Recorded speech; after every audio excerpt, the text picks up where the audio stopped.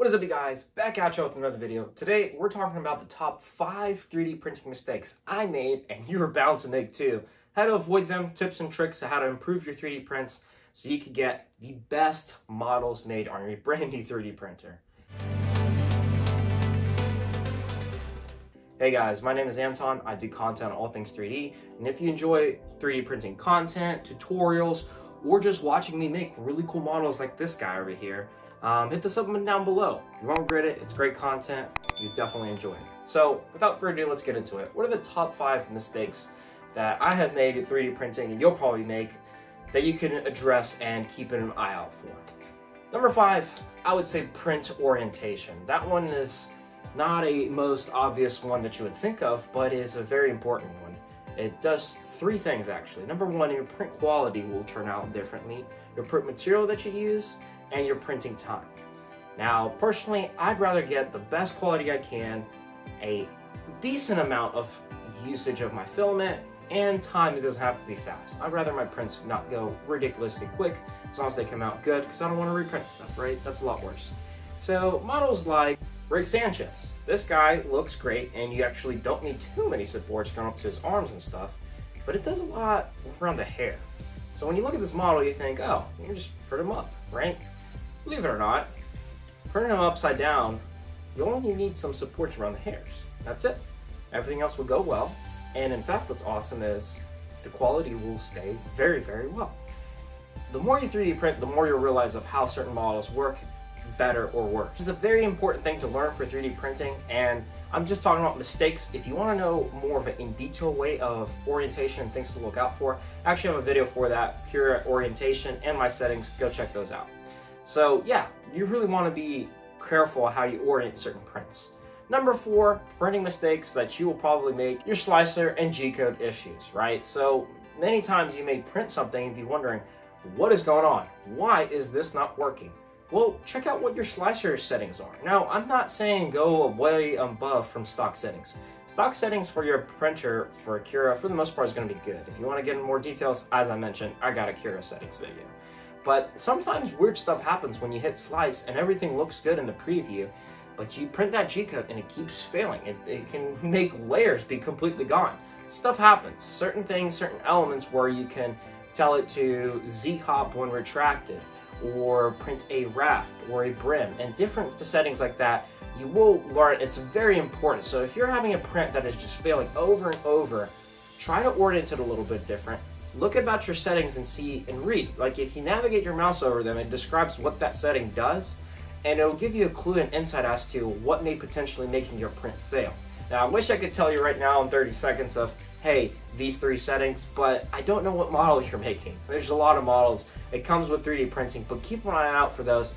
Work with those. Always try new different things. Sit there. I sit for hours slicing stuff for several times and seeing just the best orientation the way where it looks very successful, where there's not certain things that can mess up, and depends on which model you're printing, it might be worth your time. So before you completely stress out, think your printer's a failure, you're a failure, look at your slicer settings, change certain things, and tweak some stuff. It'll help your prints much better. The third thing, oh my goodness, the top three mistake you'll make. I see this one all the time. It drives me nuts, and I get it, but I don't at the same time. Upgrades. People get this brand new 3D printer, and even before they get it, I see this all the time. Hey guys, I just ordered my 3D printer. It's gonna be shipped here in a couple of weeks. What upgrade should I put on it? What upgrades? Hey, you've had this model upgrade. Can I get an upgrade? Can I get an upgrade? Look, there's certain, and I've done some minor upgrades on my 3D printer, and I have a video on that, of course. You can check it out. But this is a mistake that I have made and people make all the time is it's almost like a sports car you just got, that 3D printer, and you're like, all right, let me upgrade it. Let me add uh, better stuff here, there. Let me customize it. It's going to be awesome, you know?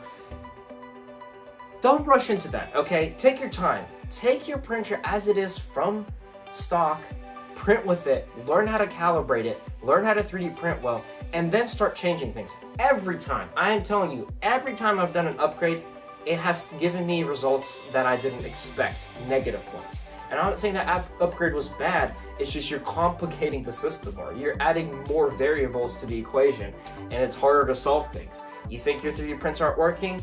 And you think it's just the slicer settings or the orientation, well, guess what? Maybe it's that new Wham Bam upgrade you put in. The bed adhesion is terrible. Or it's the fact that you put in new fans and it knocked off the bed leveling. Or you put an OctoPrint and good gosh, you know, it won't read the G-code fast because you're not using the local SD. It could be, I'm probably speaking a different language for some of you guys right now.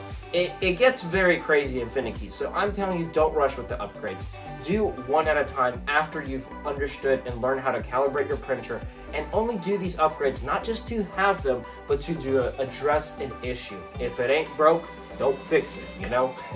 so keep an eye out for that. Upgrades are nice, but they make stuff complicated. And I've seen oftentimes people get a printer, they don't even print a single thing. They start upgrading on it, and then they say, my prints won't even work. I can't print anything at all. And turns out they modified something on there, and they didn't even know what that modification was supposed to do. So, you know, hesitate on the upgrades. All right, so there you go. There's three for you. So what's second on my list? All the way up there. We're getting the top two. Filament quality. Um, and this one's kind of a given, but kind of not. It, it's you never realize how important it is until you see and try out different things. There's different types of materials you can use, and I'll slightly touch on that. But filament quality, there's a roll that comes with your 3D printer. Don't print with that. Don't expect any good prints to come of that. That is not good filament quality and filament quality will greatly affect your print. So if you're sitting there, and you're stressed and you're mad and you're like, look, I got all these steps down. I haven't done crazy upgrades. I have done the orientation, the slicer's perfect, everything is good, but this print is just printing out so ugly or looks so weird or it can't do that or this. What kind of filament are you using? Has it worked for you before? Is it good and recommended? I've used PLA Plus extensively and PLA extensively. Some people ask me about PETG and TPUs and all those. I have not used those extensively, so I won't talk about those in detail. PLA, I, I've used probably about 15 rolls, um, and I've used about seven different brands.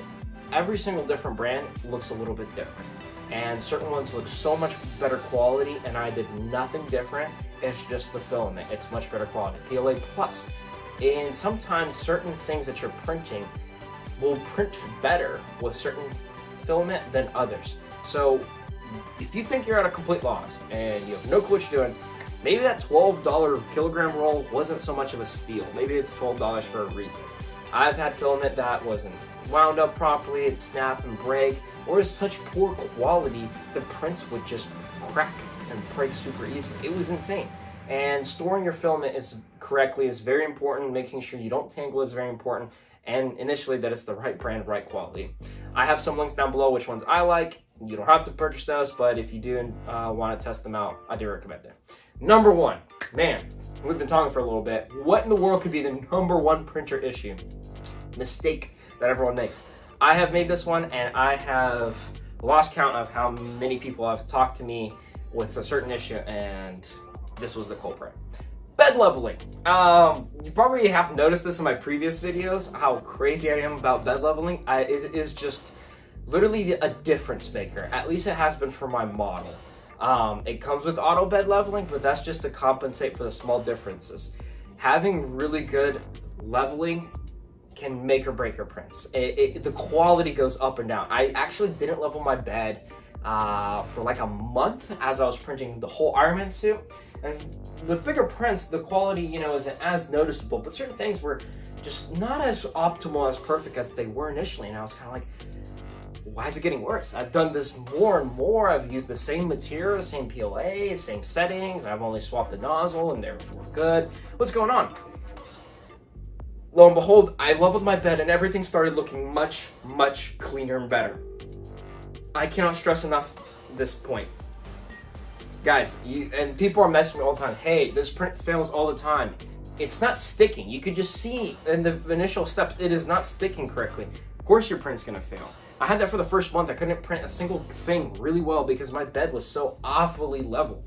And it's a little tricky when you're starting out in this hobby, understanding how to correctly level it and what, you know, your print should look like when it's leveled. But once you do it a couple times, you figure it out.